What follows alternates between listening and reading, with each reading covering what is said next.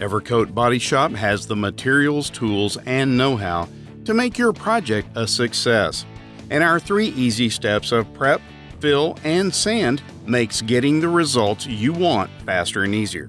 Remember, use gloves and a dust mask for safety.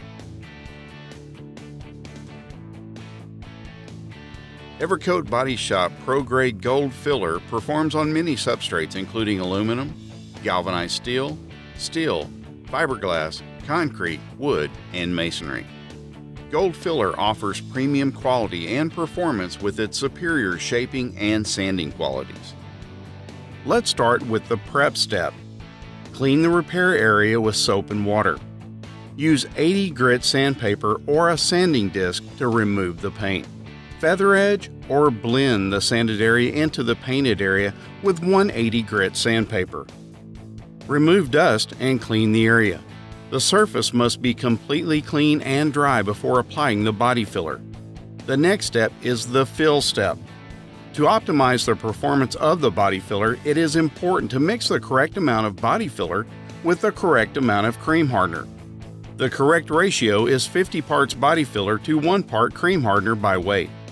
There are two options to help with achieving the correct mix ratio using the enclosed Perfect Mix mixing guide or mixing based on the size of the puddle of body filler. The first option is using the Perfect Mix mixing guide. Tape the mixing guide to a sturdy, clean surface. Completely fill one of the circles with the filler that represents the amount needed. Dispense a line of cream hardener the same length as the blue line below the circle. Thoroughly fold the body filler and cream hardener together with a spreader until the color is uniform. Make sure there aren't any dark streaks of blue left after mixing. Additional Perfect Mix mixing guides can be purchased from your retailer. The second option is mixing based on the size of body filler puddle. Place the desired amount of filler on a clean, smooth, and non-porous surface. Squeeze a line of cream hardener on top of the body filler based on the filler puddle size. For a 2 inch puddle, squeeze a line of hardener from the center to the edge of the puddle.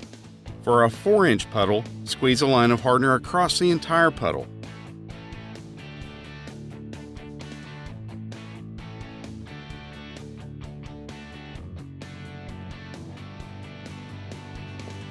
Thoroughly mix the body filler and cream hardener with a spreader until the color is uniform. Make sure there aren't any dark streaks of blue. To apply the body filler, wet the repair surface by spreading a thin layer of mixed material over the surface using even firm pressure. Wetting the surface first will help make sure there is good adhesion and will help reduce pinholes. Apply additional layers of material building the area slightly higher than the surface so that the filler can be sanded down to a smooth and even finish. The material will remain workable for a few minutes before it starts to harden. Sand is the final step. The repaired surface can be sanded approximately 10 to 15 minutes after application. Rough sand the filler with 80 grit sandpaper to the desired contour. Next, Sand with 180 grit sandpaper to remove all the 80 grit sand scratches. If desired, we recommend finishing the repair with Evercoat Body Shop Pro Grade Glazing Putty to fill in any pinholes that may have appeared before priming.